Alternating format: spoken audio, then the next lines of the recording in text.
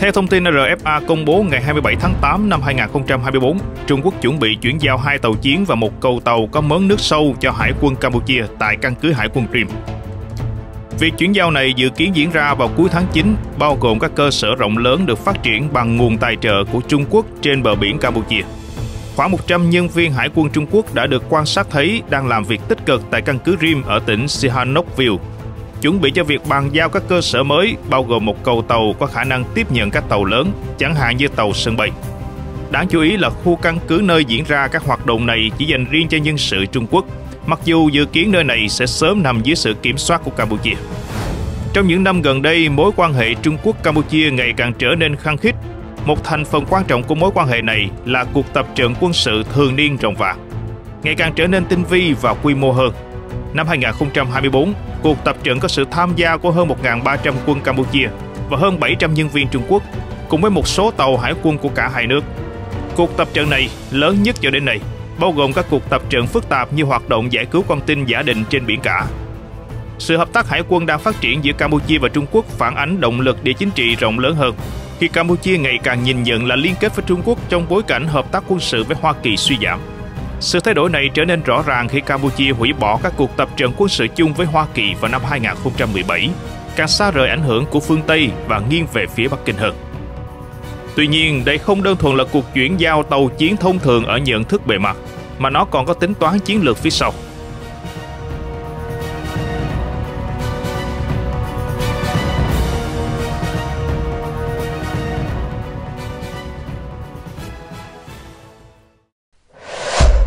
Ý đồ của Trung Quốc sau cuộc chuyển giao tàu chiến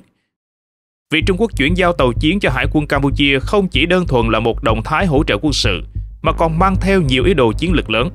Vì Campuchia không có chiến tranh, không có xung đột quân sự trong nước, cũng chẳng có xung đột khu vực liên quan tới họ, thì đâu cần phải hỗ trợ quân sự.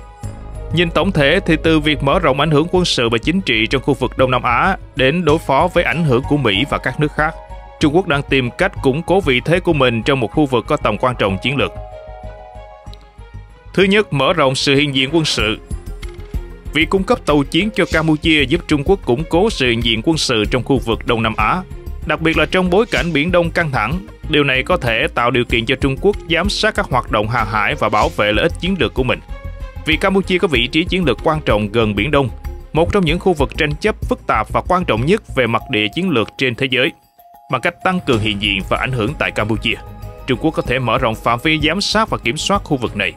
Và việc Trung Quốc cung cấp tàu chiến có thể giúp Trung Quốc thiết lập các tiền đồn quân sự, hoặc ít nhất là có khả năng tiếp cận nhanh chóng với khu vực này trong trường hợp xung đột xảy ra. Nếu Trung Quốc có thể xây dựng hoặc sử dụng các cơ sở quân sự tại Campuchia, như căn cứ hải quân hoặc sân bay, họ sẽ có thêm điểm tựa để triển khai lực lượng nhanh chóng trong khu vực Biển Đông, hỗ trợ các hoạt động quân sự và hải giám.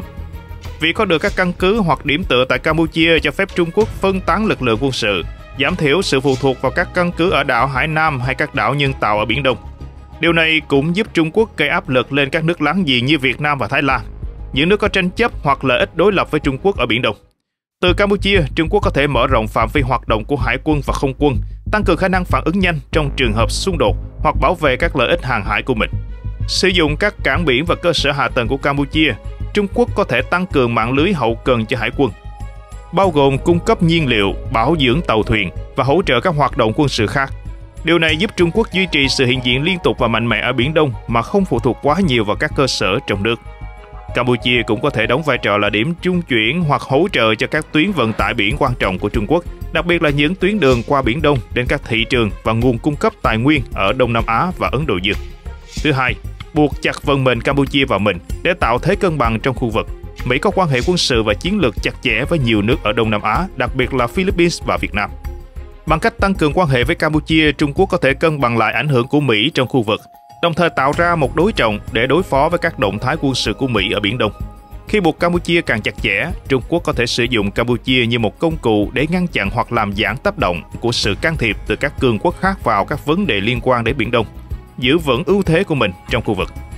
Đồng thời với sự hiện diện quân sự của Trung Quốc tại Campuchia có thể gây áp lực lên các nước láng giềng như Việt Nam và Thái Lan, khi các nước này phải cân nhắc kỹ lưỡng về mối quan hệ với Mỹ và các đối tác khác. Thứ ba, phân hóa ASEAN, Campuchia là thành viên của ASEAN. tổ chức khu vực có vai trò quan trọng trong việc điều phối các phản ứng và chính sách liên quan đến Biển Đông. Bằng cách gia tăng ảnh hưởng tại Campuchia, Trung Quốc có thể gián tiếp tác động đến lập trường của ASEAN, đặc biệt là trong các cuộc đàm phán về Biển Đông, làm giảm sự thống nhất của ASEAN trong việc đối phó với Trung Quốc.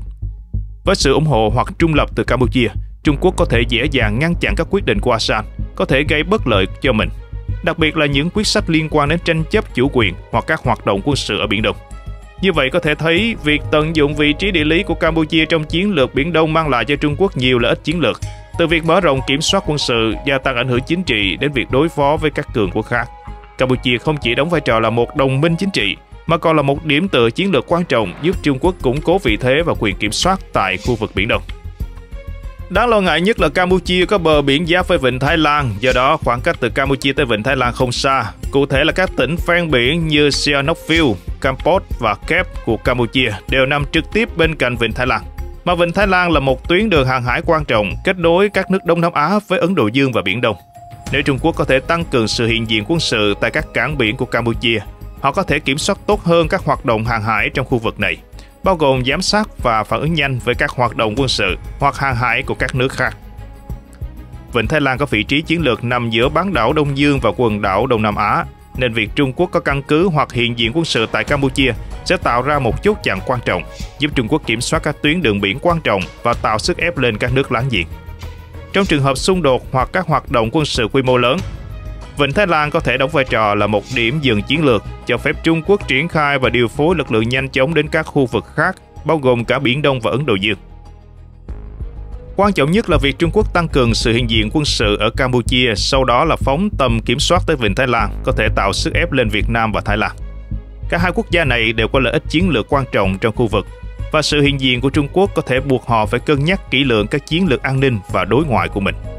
Khi Mỹ có hiện diện quân sự mạnh mẽ trong khu vực Đông Nam Á, đặc biệt thông qua các liên minh với các nước như Thái Lan và Philippines, thì Trung Quốc cũng có sự hiện diện quân sự tại Campuchia và Vịnh Thái Lan. Đây là cuộc đối đầu về địa chiến lược.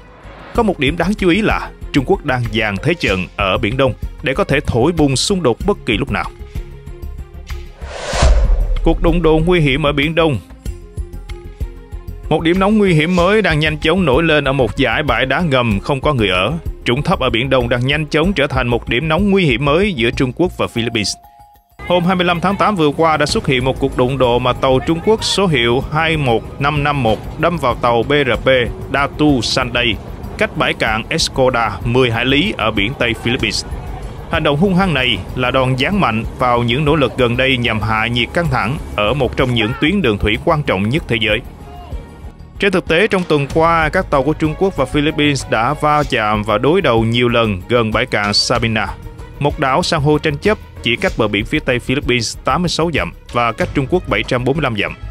Trung Quốc và Philippines tranh chấp về bãi cạn Scarborough, bãi cạn Hoang Nham theo cách gọi của Trung Quốc, chủ yếu vì các lý do chiến lược, kinh tế và chính trị. Mặc dù đây là một khu vực không có người sinh sống, bãi cạn Scarborough nằm ở Biển Đông, một trong những khu vực chiến lược quan trọng nhất thế giới về mặt quân sự và hàng hải,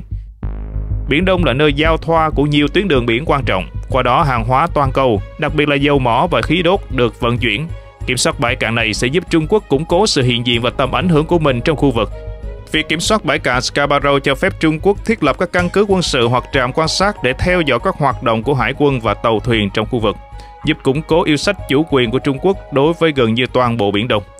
Đáng nói nhất là các cuộc đối đầu dữ dội diễn ra chỉ vài tuần sau khi Bắc Kinh và Manila đạt được một thỏa thuận tạm thời nhằm giảm bớt căng thẳng đã gia tăng sốt mùa hè tại một rạn san hô khác gần đó,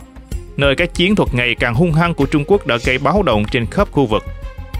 Hôm 26 tháng 8, có tận 40 tàu Trung Quốc, bao gồm 6 tàu cảnh sát biển và 3 tàu hải quân, đang chặn hai tàu cảnh sát biển Philippines tiếp tế cho tàu tuần tra BRP Teresa Mapanua gần bãi cạn Escoda thuộc vùng đặc quyền kinh tế của Philippines. Một video khác cho thấy cảnh một cuộc đuổi vây của nhóm tàu Trung Quốc với một tàu cá của người Philippines.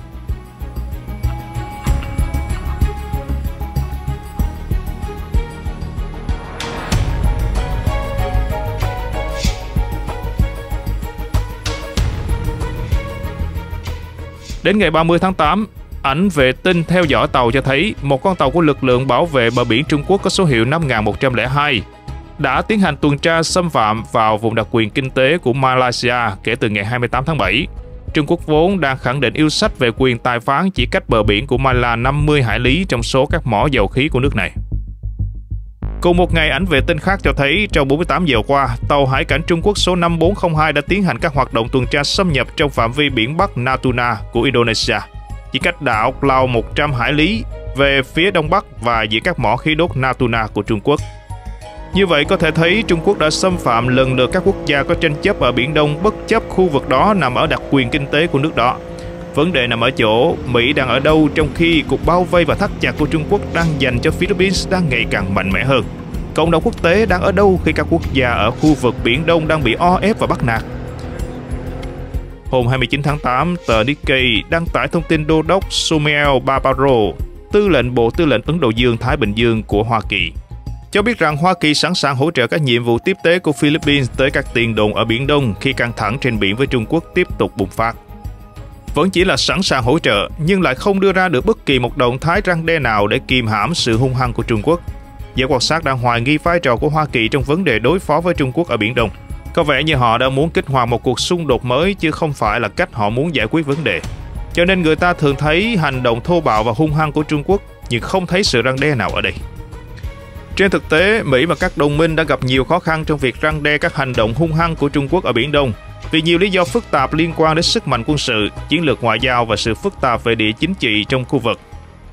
Trung Quốc đã đầu tư rất nhiều vào việc hiện đại hóa quân sự, đặc biệt là hải quân. Họ đã xây dựng và triển khai nhiều tàu chiến, tàu ngầm và tên lửa chống hạm tiên tiến, giúp nâng cao khả năng bảo vệ các yêu sách của mình ở Biển Đông. Họ cũng đã xây dựng và củng cố các cơ sở quân sự trên các đảo nhân tạo ở Biển Đông, bao gồm các căn cứ không quân, cảng biển và hệ thống phòng thủ tên lửa. Những cơ sở này giúp Trung Quốc thiết lập một vùng chống tiếp cận, chống xâm nhập A2AD hiệu quả, làm giảm khả năng can thiệp của các lực lượng bên ngoài, bao gồm cả Mỹ. Quan trọng hơn là Trung Quốc sử dụng chiến lược chiến tranh không đối xứng để đối phó với các lực lượng mạnh hơn như Mỹ. Điều này bao gồm việc sử dụng lực lượng dân quân biển thường là các tàu cá có vũ trang nhẹ và tàu cảnh sát biển để tạo ra những tình huống gây khó khăn cho Mỹ và các đồng minh mà không kích động xung đột quân sự trực tiếp. Hơn nữa, Trung Quốc đã rất thành công trong việc sử dụng chiến lược chiến tranh xám Raison Warfare, tức là thực hiện các hành động quyết đoán nhưng ở mức độ thấp, không đủ để kích hoạt một phản ứng quân sự mạnh mẽ từ Mỹ hoặc các đồng minh. Những hành động này bao gồm việc xây dựng đảo nhân tạo, tuần tra liên tục trong vùng biển tranh chấp và ngăn cản các tàu cá hoặc tàu thăm dò của các nước khác. Mặt khác, Trung Quốc đã tận dụng sự phân hóa trong nội bộ ASEAN để làm giảm hiệu quả các tổ chức này trong việc đối phó với các hành động của Bắc Kinh. Một số quốc gia ASEAN có mối quan hệ kinh tế và chính trị chặt chẽ với Trung Quốc và do đó họ không muốn đối đầu trực tiếp với Bắc Kinh, dẫn đến khó khăn trong việc đạt được sự đồng thuận trong khối.